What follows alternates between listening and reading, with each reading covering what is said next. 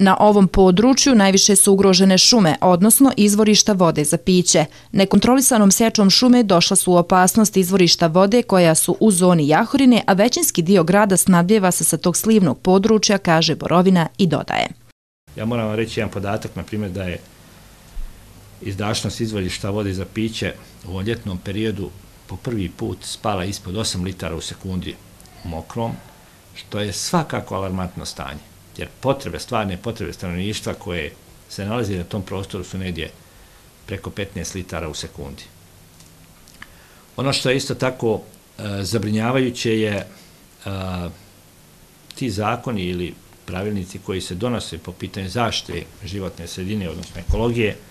ne znam koliko ste upoznati, ali još uvijek nije donesen zakon o reciklaži otpadnog materijala na nivou BiH i to se stalno potencira, stalno se traži, traže obični građani, međutim to još uvijek nije usvojeno i nije donešeno. Zatim, e, zakon o hemikalijama koji je usvojen u Republici Srpskoj još u aprilu 2009. godine, ali taj zakon nije obuhvatio i te neke materijale koji su, eto tako da kažem, opasni za zdravlje ljudi i kancerogeni. Prije svega mislim na upotrebu azbesta. Azbest kao građevinski materijal još se jedino u okruženju ili na Balkanu koristi samo ovdje na teritoriji Bosne i Hercegovine. Samo da vam kažem jedan podatak da taj azbestni materijal, odnosno azbestno-cementne ploče koje se koriste kao krovni pokrivač, e, njihovo zračenje je tri puta veće od dozvoljena. Takav materijal, em što je na krovima zgrada i objekata koji su pokriveni takvim materijalom, isto tako predstavlja opasnost nakon uklanjanja kao krovnog pokrivača gdje je odlaganje tog materijala trebalo bi da podježe posebnim mjerama zaštite. Radnici koji rade sa materijalom koji sadrži azbest izloženi su opasnosti od azbestoze, bolesti koja i tekako utiče na organizam i izaziva teška oboljenja. Borovina naglašava i da značajan dio vodovoda na području grada, oko 15 od čine cijevi od azbestana jer se ranije koristio taj materijal zbog otpornosti razbijanja korozije, ali je neophodno naći rješenje da se takve cijevi eliminišu iz upotrebe područje Jahorne kao turističke zone je e, svakako na neki način, pa evo mogu slobodno da kažem, najzagađeniji dio prirode e, na ovome području.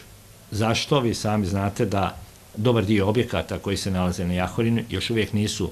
priključeni na kolektore otpadnih voda ili zbog materijalnog stanja ili zbog nečeg drugog, ali u svakom slučaju e, otpadne vode iz tih kolektora, odnosno iz septičkih jama, e, dospijevaju u riječne vodotokove. Imamo problem sa, opština Pal ima problem sa Vrelom Vlahovići, gdje su prisutne bakterije fekalnog porijekla u tim izvorištima i to je e, naročno izraženo u posljednje vrijeme kako je intenzivirana gradnja na dvorištima. E, tako da, kad god je moguće, e, to vrelo se isključuje iz upotrebe, šta bi, ne bi došlo stanovništvo opasnost od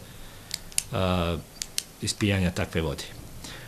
Dalje, moram da napomenem da uh, ljudi se jednostavno uh, i okruženje tako jednostavno nemaju tu neku ekokulturu, tako da kažem, uh, gdje je dobar to, dio toga otpadnog materijala koji se može, kažem, iskoristiti i poslije, nakon reciklaže i tako dalje, bacaju na te divlje takozvane deponije, naročito pored puteva, I to je isto tako jedan od velikih problema gdje se to ne odvozi na tu uh, centralnu deponiju, to tako da kažem, mada i o tome treba razmišljati kad su pitanje te centralne deponije, uh, da se nađe odgovarajuća lokacija i da opštine koje su u sastavu grada da moraju na kraju to riješiti. Otpadne vode slivaju se direktno u riječne vodotokove, čime se zagađuje voda i okolina. Paljansku Miljacku u sušnom periodu oko jedne trećine riječnog vodotoka čine otpadne vode iz kanalizacijonog sistema. Na području Istočnog Sarajeva gotovo da i ne postoji prečistač otpadnih voda, kaže Borovina. Dobar dio te vode, zahvaljujući tom e, prirodnom procesu, što kaže, e, se samo prečišćava do ulaza ovde u Sarajevo, ali evo, e, federalni dio Sarajeva uradio je projekat e, centralnog kolektora za prečišćavanje tih otpadnih voda i prečišćača otpadnih voda, tako da ćemo se mi morati htjeli ne htjeli uključiti u taj proces, niko nam je će dozvoliti da ispuštamo direktno u te riječne vodotokove. Isto tako, e, kad su u pitanju te e, deponije otpadnog materijala, i sami znate, izbog nedostatka novčanih sestava, a i zbog takvih lokacija i takve deponije, znači, uh, s obzirom da se deponuje i medicinski otpad i otpad, evo malo pre sam naveo ovaj građevinski uh, od azbestnih materijala tih, odnosno materijala koji su opasni po zdravlju ljudi, znači bez ikakvog odvajanja deponuju se bez ikakve ikakvog tretmana, deponuju se na te otpade i samim tim te procjedne vode iz tih deponija centralne dospjevaju u zemljište i zagađuju izvorišta vode za piće. Pa dio tih e, e, privatnih radnji, objekata i tako dalje, koje se praonica, e, automenčarskih radnji, gdje se dobar dio, recimo, e, imate slučaje da jednostavno pored same te radionce istresaju se ulja koja se mijenjaju, e, ulja su, pogotovo ta ulja sintetičkog porijekla su bio razgradiva nakon 40 godina. Znači imate takva ulja koja tek nakon 40 godina su bio razgradive i možete misliti kad dospijevaju, kad dospiju u tlo i dospiju u te podzemne vode a, takve materije. Ja moram da kažem da, evo, mene ljuti što, na primjer, te kuće koje se bave proizvodnjom takvih materijala, odnosno konkretno tih sintetičkih ulja, reklamiraju to i kaže ulje pređeni, nakon, mijenja se nakon pređeni 100.000 km ili praktično dok traje vijek motora samo u svijetu je e, praksa, e, razvijene zemlje su potpuno izbacile sintetička ulja i uveli su e, ta miner, ulja mineralnog porijekla koja su bio razgradiva tako da jednostavno ne zagađuju okolinu i mijenjaju se nakon svakih pređenih 5 do eventualno maksimalno 10.000 km. Na području grada ne postoje precizni podaci koliko se na godišnjem nivou ukupno proizvede otpadnog materijala. Evo, opština Sokolac odlaže, to svoje smeće odlaže na tu deponiju koja pripada opštini Rogatica. Ovdje na području Pala i na području evo, ove tri opštine je centralna deponija u Krupičkim stjenama, e, gdje tačni podataka e, nemamo za čitav grad, ali imamo dijelimično za opštinu Pale i dijelimično nešto za opštinu ovdje Krupac. Jer vidite i sami nekad, nekad ti podaci su e, varljivi, što kažu, i oni koji su obavezni da odvuku taj otpad, naročito recimo građevinski taj otpad, nakon izgradnje i vidite ovdje ta intenzivirana je gradnja isto tako na ovome prostoru, tamo jednostavno